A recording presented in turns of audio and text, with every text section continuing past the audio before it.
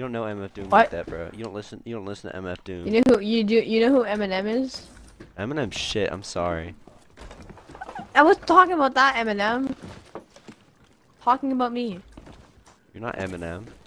Yes, I am. You know what Eminem stands for? What?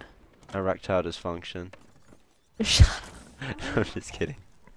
oh,